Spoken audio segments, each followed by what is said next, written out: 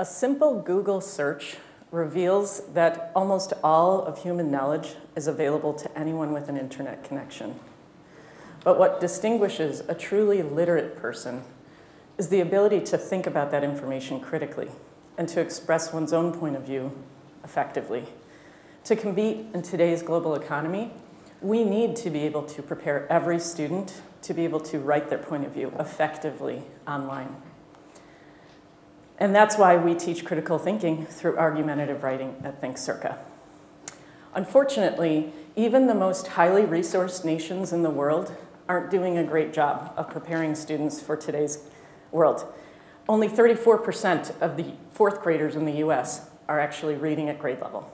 And only 27% of our high school graduates are college and career ready writers. And it's also one of the reasons why we have over 30 million unemployable adults in the US alone.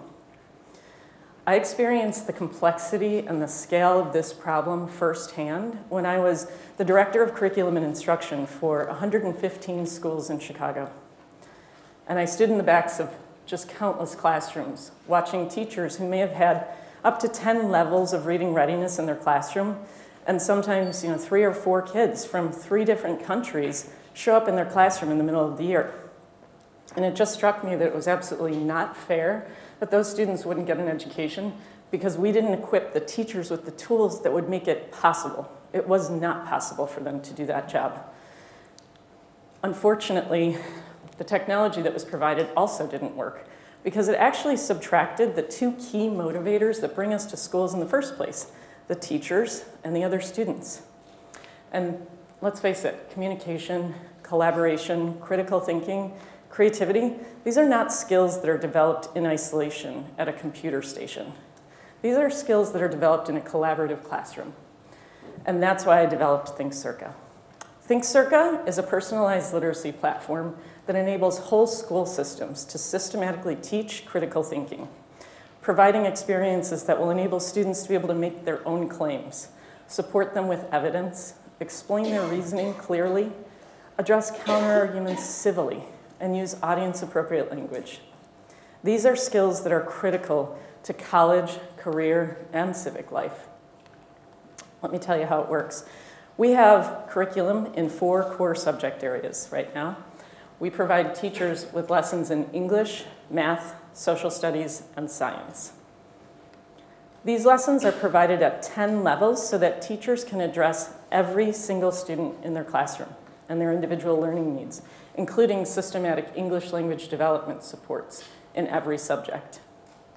An example of one of these sets is from a disease network set, where we teach students how to uh, do mathematical modeling. That's the way that we think critically in math. After students explore data and do this mathematical modeling, they make arguments about questions such as, when was the earliest moment in time that the government should have stepped in to stop the spread of Ebola in West Africa? These are real world problems that students are solving, and administrators, school leaders, are able to monitor their progress in critical thinking in real time with the data on reading and writing that our system collects. So they can align resources throughout the entire organization around individual student growth. And that is why we have been able to deliver an average of two years of reading growth based on standardized test data for all levels of learners. We are performing um, four times better than the next most successful ed tech product when it comes to reading and writing growth. And that is why we already have customers in 38 states throughout the United States, and why we almost have a, a half a million students on our platform across 132 countries.